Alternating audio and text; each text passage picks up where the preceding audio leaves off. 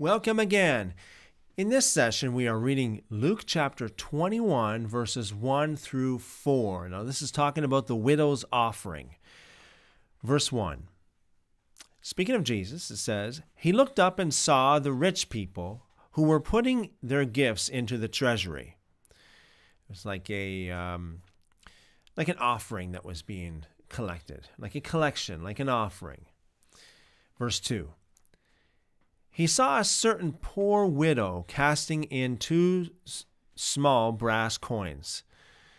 It says here in the notes, literally two lepta. Two lepta was about 1% of a day's wages for an agricultural laborer. 1%. He said, Truly I tell you, this poor widow put in more than all of them. For all these put in gifts for God from their abundance, but she, out of her poverty, put in all that she had to live on.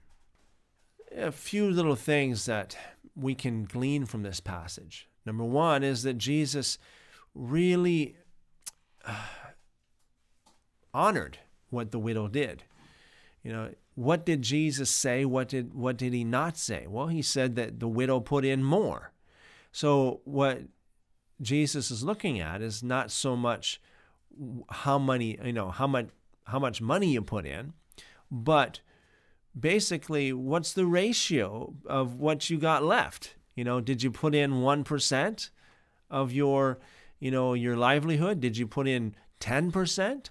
Did you put in 50 or did you like the widow put in 100%? Jesus did not stop her. And that's another thing. Um, you know, Jesus could have said, "Oh no, stop that widow. She's going to that's all she has to live on. She needs those two coins." He did not stop her. And that's another thing that's very remarkable here. So he commended her. He praised her for what she did. And uh, he didn't stop her, although she put in everything she had to live on.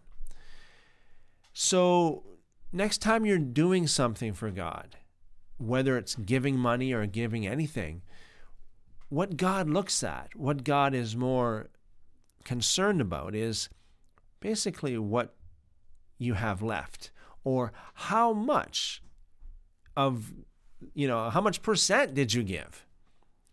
You know how much uh, do you have left over? Uh, how, you know what what do you um, what do you value the most how do you give to god do you give just a little bit or do you give a lot that's basically what jesus is talking about so as you go, as you go throughout your day, as the uh, time goes by, you should meditate upon what Jesus said. Meditate upon what the scriptures say. Always keep in mind what the scriptures say. Meditate upon it day and night, as it says, and keep it before your eyes, so to speak.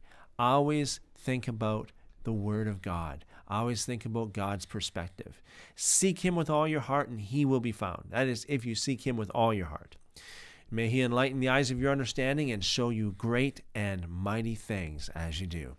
Thanks again.